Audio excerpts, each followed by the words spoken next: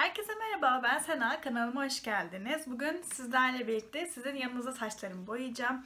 Artık mütevazılık yapamayacağım. Kızıl saç kullanma ve boyama konusunda birçok şey biliyorum. Ee, Çünkü ilk kez e, ilkokula giderken 8. sınıfta komple saçlarımı böyle kırmızıya boyatmıştım. Ee, O günden beri sürekli olarak kullanmıyorum. Evet sonradan liseye geçtiğim için mecbur e, geri kendi rengime dönmek zorunda kaldım ama daha sonra yine tekrar kızıl e, kızıla döndüm. Kızıl kullanmaya başladım. Şimdi de kullanıyorum. E, bakımı ile ilgili size vereceğim ipuçları olacak. Kızıl saçı evde nasıl boyayabilirsiniz, nasıl açabilirsiniz? Bu konuda anlatacaklarım olacak. Boyama sürecinde sonrasında e, olabilecek şeyler. Çünkü diğer, kızıl saç kullanmak diğer saç kullan diğer saç renklerini kullanmaktan biraz daha zor. Örneğin havlularınız komple e, kızıl olacak. Kırmızı boyalar geçecek, kıyafetlerinize geçecek. Yani kızıl saç kullanmak e, boyanmış saçtan biraz daha farklı. E, şimdi size hem sizinle birlikte boyayacağım hem de bildiğim her şeyi size aktarmaya çalışacağım. O zaman şimdi e, önce boyamızı hazırlayalım. Öncelikle kutumuzun içindekilere bakalım. Ben Silkaların 565'i evet 565 çilek kırmızısı tonunu kullanıyorum.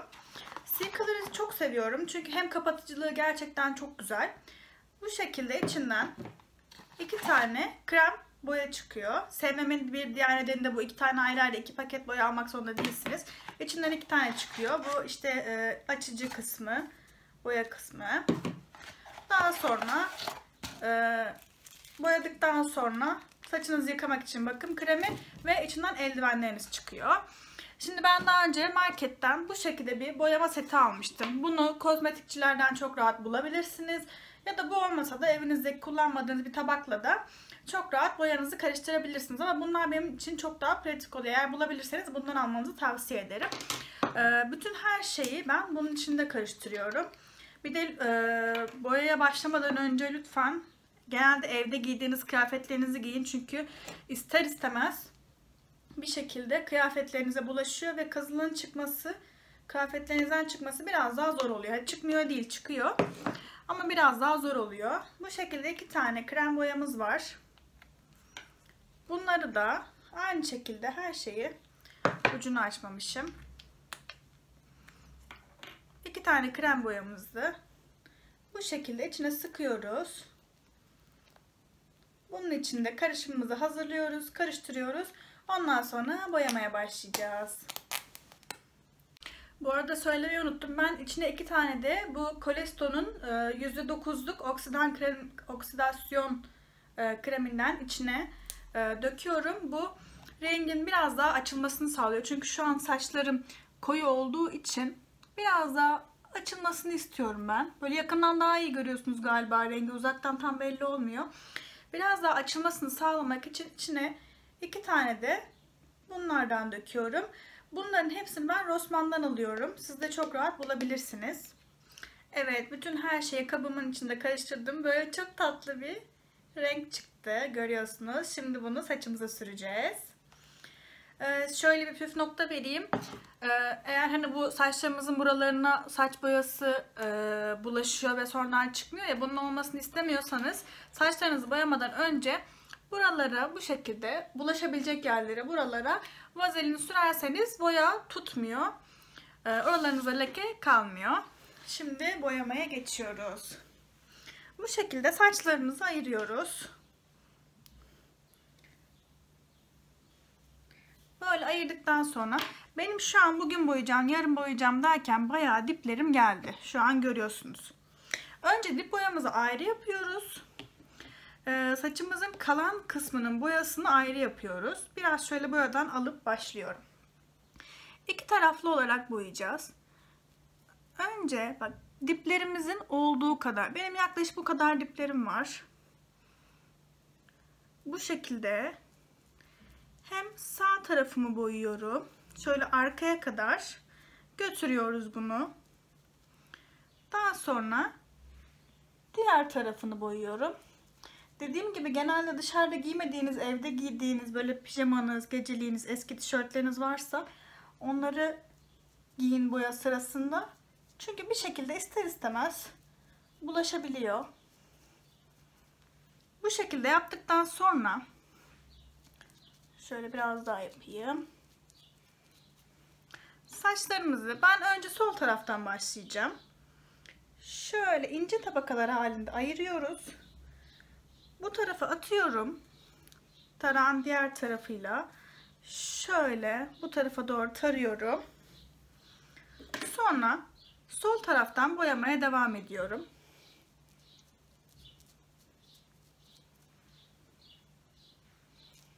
Bu şekilde boyuyoruz.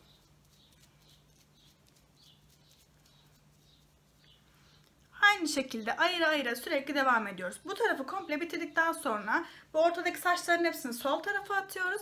Daha sonra sağdaki saçlarımızı boyuyoruz. Ondan sonra hepsini bu sefer arkaya atıp arkadaki saçları boyuyoruz. Yani önce tip boyamızı tamamlayacağız. Ondan sonra kalan şu uç kısımlarını boyayabiliriz. Şimdi ben hızlı bir şekilde devam ediyorum.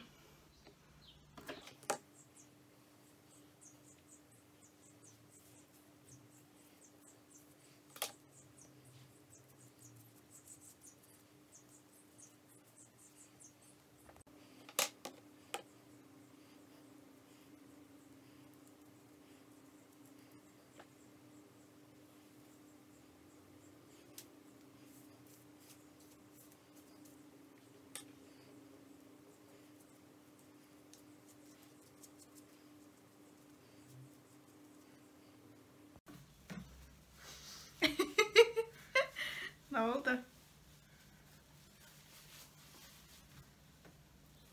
Ama yarın gözüküyor, yarın gözükmüyor. Eğil bakayım biraz. Böyle mi? Evet. Sen biraz kamerayı yukarıya kaldır. Olmaz benim açım bozulur. Bozulmaz. Hayır. Ben şu Saçını an boyuyorsun. ben şu an kendime göre ayarladım ama. Sana göre değiştirdim.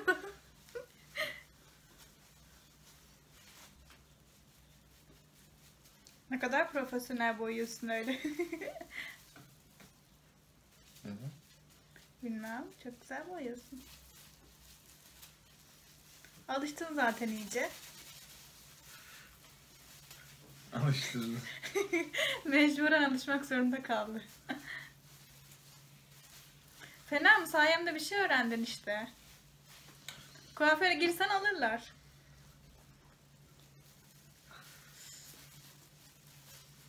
De acıtmasan mükemmel olacak.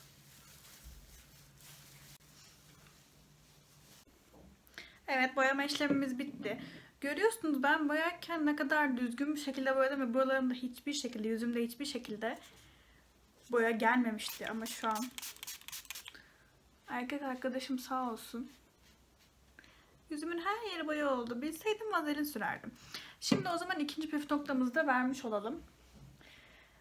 Eğer bu şekilde bir bulaşma yaşadıysanız iki yöntemimiz var. Birincisi pamuğa bol bol kolonya sıkıyoruz ve daha kurumadan hemen bu kenarlarınızı kolonya ile siliyorsunuz. Görüyorsunuz ne kadar çok çabuk bir şekilde çıkıyor. Tabi buralara bayağı bulaşmış. Buralarda biraz zorlanacağım ama e, ikinci bir yöntem olarak da yine kolonya sıktıktan sonra sigara külüne batırır o şekilde silerseniz onlar da yüzünüzden bu boyaların çıkmasına yardımcı olacak. Şimdi e, boyamız bittikten sonra e, 40 dakika kadar boyayı saçlarımıza bekletiyoruz. İyice e, boyanın saçlara geçmesini bekliyoruz. 40 dakika sonra yıkayacağız. Banyo böyle bir e, kan gölü haline dönüşürse korkmayın. Kırmızı boyadan dolayı oluyor. Bunu her ay boyadığınızda maalesef yaşayacaksınız. Şu an havlumun hali bayağı kıpkırmızı. Havlumdan falan çıkıyor sorun olmuyor ama bazen bazı kıyafetlerden çıkmayabiliyor. O yüzden yine de siz dikkatli olun. Boyamayı, yıkamayı hepsini bitirdik. Şimdi artık kurutma kısmına geçiyoruz. Rengini de bu şekilde yakından göstereyim. Bu şekilde oldu.